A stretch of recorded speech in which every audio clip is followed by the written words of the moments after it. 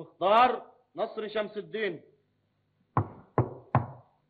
افتتحت الجلسة. يا دفتر الأيام والأشعار. لا مثلها في حدا ولا مثلي دار دار. من يوم رايح نقصد شوي وبيمشي الحال. أهلين مرة.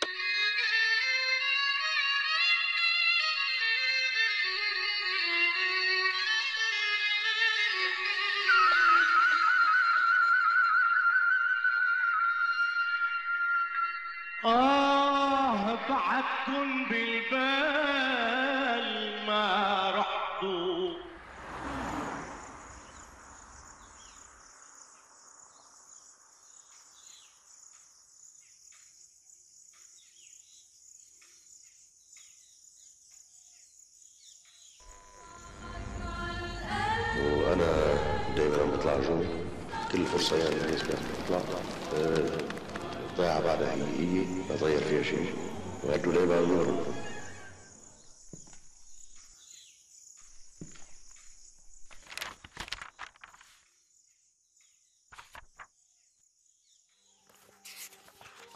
من وقت ما خلق اكتشفوا بس صار عمره 8 سنين إنه عنده هواية الفنية. وأهل الضيعة يعني كلهم يتعجبوا إنه صوته كثير حلو مميز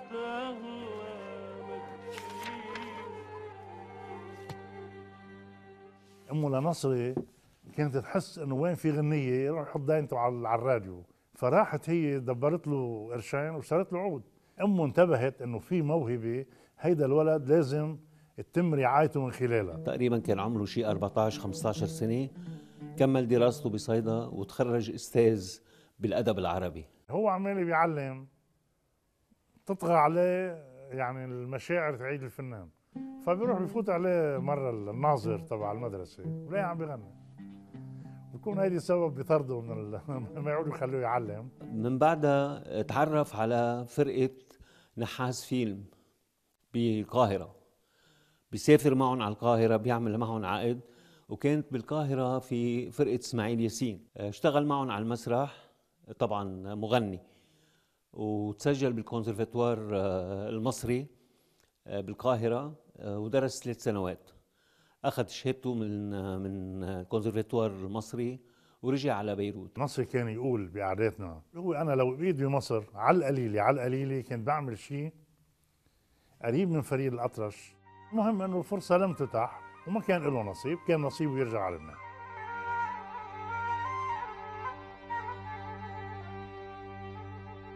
لبنان ما تكون مثل لبنان عرش النجوم متحف الألوان. يا باي يا باي.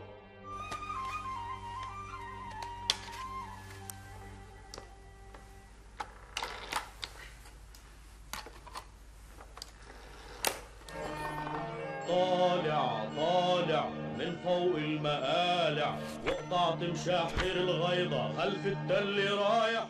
سنة ال 1952 مع بدايات عاصي ومنصور كانوا هن بإذاعة الشرق الأدنى يلي تحولت بعدين صارت إذاعة بيروت. آه، حطوا إعلان مش الأخوان رحباني حطت الإذاعة إعلان إنه بدنا مواهب وأصوات جديدة للمشاركة إن كان بكورال أو بأعمال موسيقية. وهو كان موظف بمصلحة الهاتف. آه، تعرف آه، قري بالجريدة إنه آه، شرق آه، إذاعة الشرق الأدنى بلبنان طالبة آه، آه، مغنيين.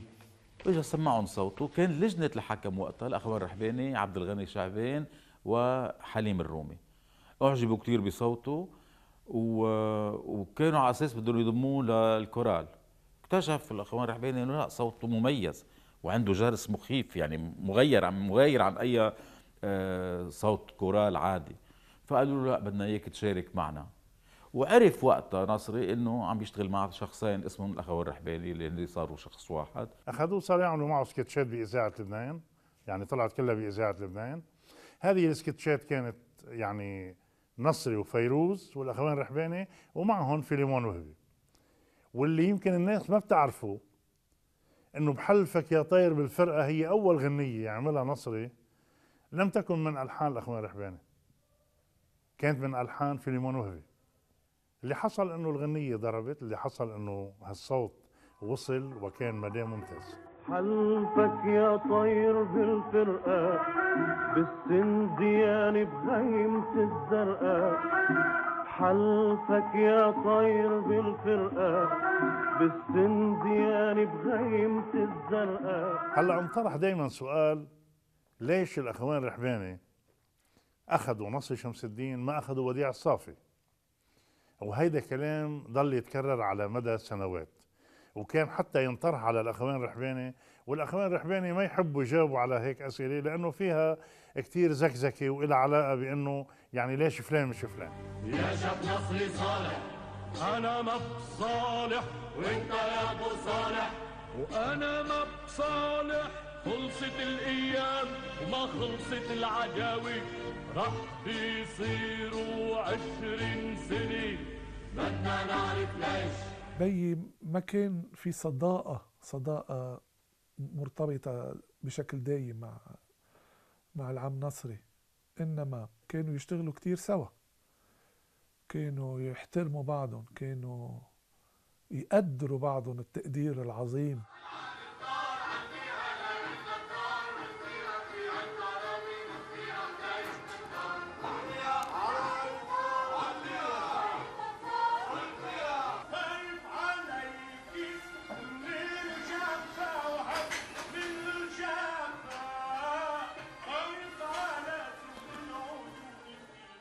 أنا بعتبر إنه الرحابني بدهم كان شخص بيقدر يوقف بدور, بدور البطولي أمام فيروز فيروز العظيمة الصوت الحضور النجومية الكبيرة. ومين غير؟ نصري شمس الدين. نصري بهالقامة بهالصوت الواسع الجبار آه، بإمكانيات الممثل بهذا الحضور. نزل إيدك أحسن ما تنكسر. هتكبر راس خد يلا يا شباب. عجلوا لي شوي. يلا. عجلوا أهلا أبو نجمي. أهلا أبو نجمة. بكر يا صالح. قلت بيجي بركي بدهم شاه شفنا يا نعمان أفندي إذا فينا فوت عنده تقدير كبير لفيروز وبيعتبر إنه فرصة حياته أن يقف على المسرح مع فيروز. وبالمقابل بجلسات خاصة مع السيدة فيروز كان لها تقدير كبير لنصري. وتحس فعلا مثل ما بعدني عم قول إنه هو مش جزء منها على المسرح ولكن جزء من العمل. فكأنه فيروز عم بتقول أي عمل بيوقف بوجهي أو قدامي غير نصري يمكن ما يكون هيك بالنتيجة أو بالوقع أو بالتأثير ذاته.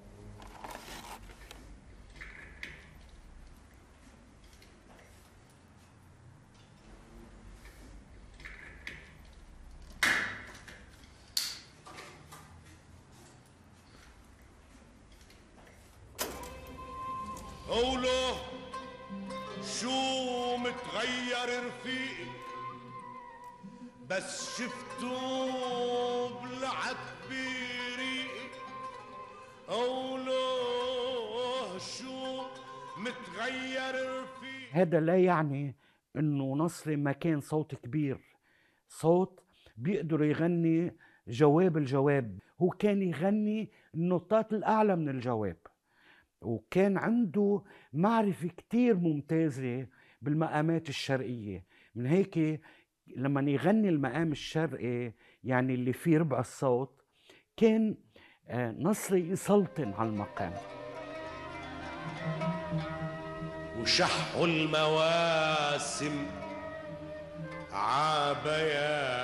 عبيادرنا مثل ما يكون يا قلبي كبرنا وهالكم شعر السود صاروا بيض بيشوفنا بيقول كيف صرنا.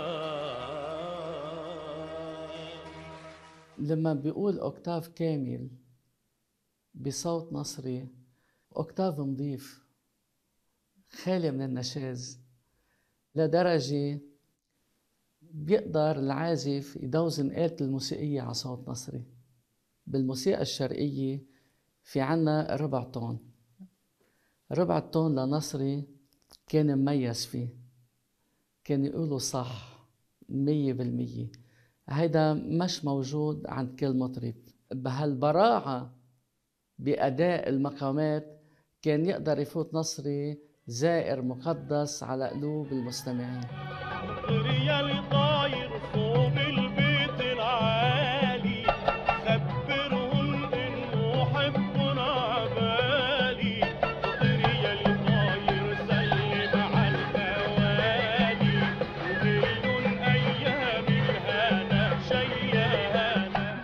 يلي بيتذكر آه، سفر برلك أو حاضرة مع بنت الحارث. نصري كان دوره حارس. بالسفر برلك كان دوره مختار ولكن ما غنى. كانوا يقولوا له أنت هون دورك تمثيلي وقال إيه وما عنده مشكلة. مش أنا بدي أطلب موال أعطوني موال تغني. ما كان كان يعرف يفرق وين المطرب وين المغني وين دورك أنت كممثل. وهيدي عظمة نصري. كيف بدها تفوت على البلد؟ راح جرب دبرها وابقى اخبركم وأنا هلا لازم ارجع. ما عاد في يغيب كتير. الله معك. من هيك هالمروحة العريضة بشخصيات اللي لعبها نصري ضل حاله ضل نبرته ذاتها ولكن لبس الشخصية اللي عم يلعبها. وهذا ما اثبته الأيام إنه كل الأعمال المسرحية اللي عملوها الاخوين الرحباني كان حاضرا فيها السيدة فيروز ونصري. يعني كان نصري نصف المسرح الرحباني. وهيدا حق بينعطى لنصري.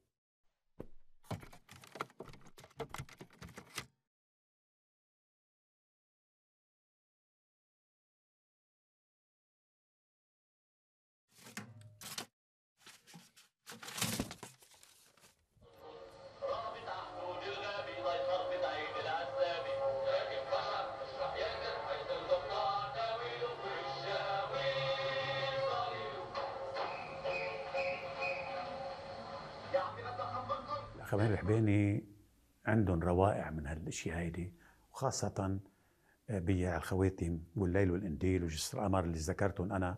وكان نصري متوج هالاشياء هيدي.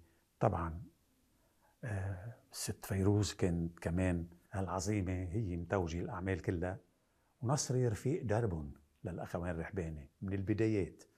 بتذكر كنت شوف آه، علاقة نصي شمس الدين مع الباقيين مع عاصي مع منصور مع أنطوان كرباج.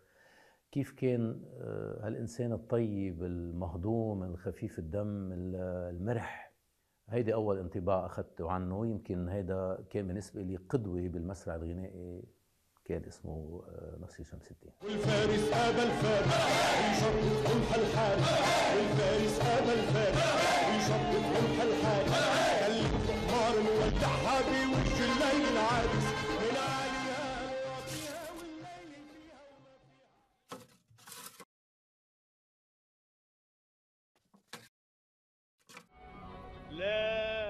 مثلها في حدا ولا مثلي دار دار. هب النسيم الطري عزهورها ومالا يا حلوة اللي القمر والف الحماك وجار. تشتاق العين عيشته حلوة نقعد يعني بكل مجلس نقعد نحن وياه مش بس بالإذاعة برات الإذاعة. آه، آه، سهرات حلوة آه، يغني فيها على سجيته وبتذكر كان آه، نصري يحب لعب الطاولة. إنه أحيانا يقول لي تعال تشوف شو بدي أطلع. أنا ما حدا بيغلبني بالطاولة. العب أنا وياه يجي يظهر معه أحيانا ما يعود يعيط ويصرخ ويطلع وينكي فيي ويوزك لي. وبس أربح أنا يقوم يهرب. ما بده يسمع كلامي يهرب. كان يحب الصيد. كثير كان يحب الصيد. ويعتبرها إنه هيدي رياضة روحية أكثر ما هي بدنية. هو فيلمون أكثر شيء مجموعة يروحوا يتصيدوا يجي أحيانا جايب غله يعني نصري وأحيانا مشي مين يوزك له فيلمون يقول له لك شو جايب أنا؟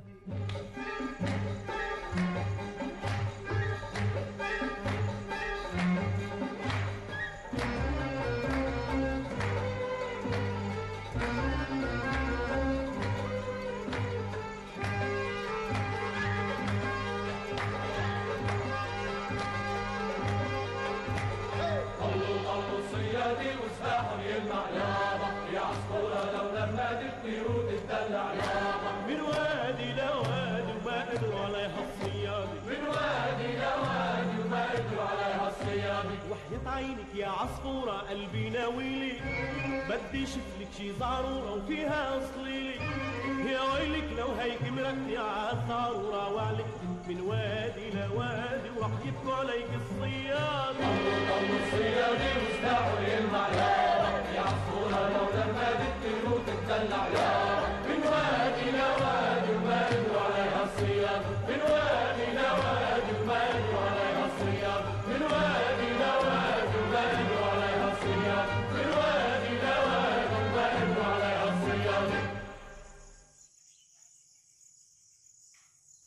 ال 80 ترك نصري الرحابني بعد فينا نقول آه، بعد سوء فهم بيناتهم وتقاطع بالآراء. وهون الرحابني كمان بتصور هن مش على طلب من أستاذ نصري تصور عملوا أغنية كيف حبايبنا. كتير يعني مشابهة لرحلفك بالغصن يا عصفور. رجعوا عملوها بعدين و- ولابقى كتير على صوته حتى يعني كانوا يتناحروا مع بعضهم بال... بالسيناريو. إنما هن كانوا حبايب واللي الأشياء اللي بتجمعهم مع بعض أكتر بكتير من الأشياء اللي بتفرقهم يعني ما كانش في أشياء تفرقهم. وفي ألبوم عمله اسمه الطربوش. آه، بعد ما عمل هالألبوم واللي بيطلع اللي كان من ألحان الملحن الكبير والموسيقي المهم والمغني المهم ملحم بركات بي- بيعرف إنه نصري كان عنده عتب عتب كتير كبير على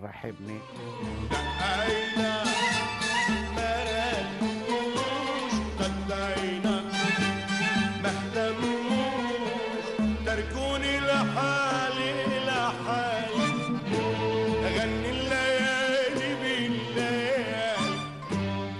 بصير خلافات يمكن بصير خلافات مع عاصم منصور على قصص على أدوار.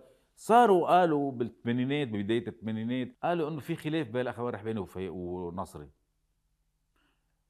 وصارت لنا الصلحة صارت عندنا بالبيت يعني أنا بتذكرها مزبوط. فقال له منصور إذا أنت زعلان نحن عندنا خمس حلقات. كان عندهم خمس حلقات لخمس شعراء عرب كبار من الكلاسيكيين. وقالوا له أنت عندك الدور الأساسي بأول حلقة وبدك تركب خيل. كان شاعر فارس.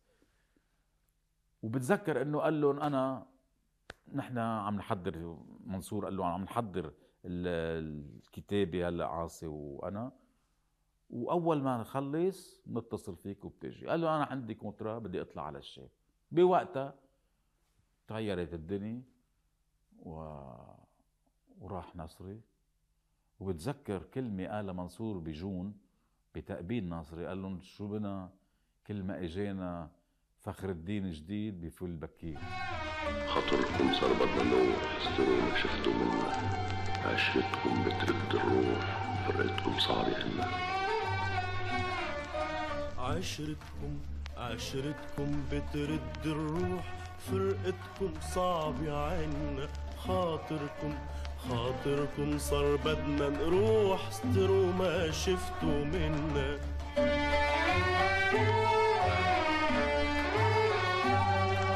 تركتونا نشكي ونعن عين بعين وسن بسن.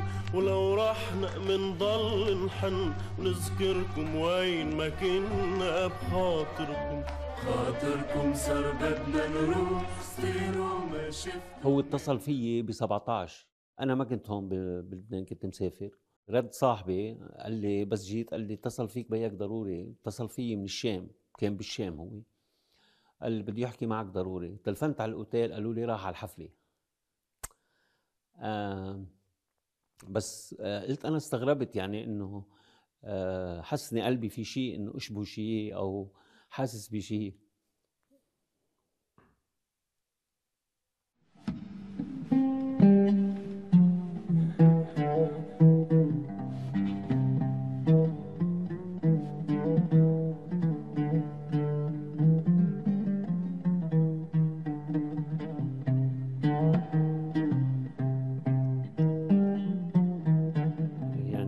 يعني قعدي معه يمكن بترجع كتير الماضي بترجع حياة حلوة. آه، هلأ بقعد بتسمع مثلا على أشياء كان يبعث لي إياها على الكاسات على أمريكا. بقعد بعدين اليوم بقعد سمعها. نحكي مع مصطفى شوي لاني مشتاق له كثير مرحبا أبو سطيف كيف سعادتك؟ مشتاقين لضحكتك الحلوه لدماتك الخفيف لوجودك. معنا بيهمني اسمع عنك الأخبار الطيبة دائما بتصور قديش مشتاقين مشتاقين مشتاقين كثير كثير كثير وقع نصري على المسرح ومات مثل ما بلش. عاش على مسرح ومات على مسرح. كان عنده رغبة ويقول دايما يا رب بالمكان اللي بحبه موت فيه. أنا بحب المسرح. موتني على وقعني على المسرح. خليني أوقع على المسرح. وصار اللي هو طلبه أو اللي هو تمناه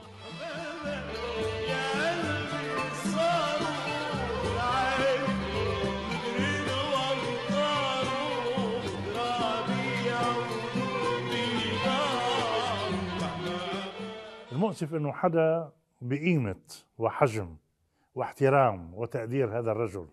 وهذه القيمة الفنية. إنه بيوقع بقلب الشام وبيتم نقله لبيروت بطريقة مهينة طريقة ما بتليق لا فيه ولا بأي بني آدم عادي. كان في حرب اتصلنا بكثير ناس لحتى يطلعوا يجيبوه لكن ما كان حدا يتشجع ويطلع يجيبه. نقل جثمان نصري شمس الدين وهو متوفى. على سطح سيارة تاكسي شيء محزن يعني مؤسف جدا إنه فنان كبير مثل نصري شمس الدين يجي بهي الطريقة على بلده. آه يعني مت... أكيد أنا بعد لحديت اليوم هيدي الشغلة كثير بتقهرني. لما نقل تابوته على ظهر سيارة سيرفيس لضيعته جون ومرق من قدام منصور رحباني وفيلمون وهبي اللي انشهروا كثالوث سبع ومخول ونصري قال له السيبة بدها ثلاثة انكسرت إجر من السيبة هيك قال له فيلمون لمنصور. قال له صرنا بدنا نعكز. لما مات نصري قالت له كلمة وكلمة مهمة. كلمة بتعني هي الرفقة الطويلة بين بعض. كلمة بتعني هي الحياة العظيمة اللي عملوها مع بعض وعملوا هذه الإمبراطورية الرحبانية من خلال المسرحيات هيدا كان نوع من وفا من الست فيروز لنصري. مرق حقبي على وفاة الأستاذ نصري شمس الدين الفنان الكبير ولكن بعده بالبال. ما حدا بيحل محل نصري شمس الدين. نصري بالفعل لا يتكرر. نصري حالة متفردة لن تعود ولن تتكرر. ولذلك بقول نصري قمة كبيرة من قمم الفن في لبنان. سامحينا غلطنا بحقك سامحينا. أنا مفكرت معباي وبكل ورقة رواي أنا بقلب هالدفتر وانتو بتردوا وراي مارق عالطواحين والمي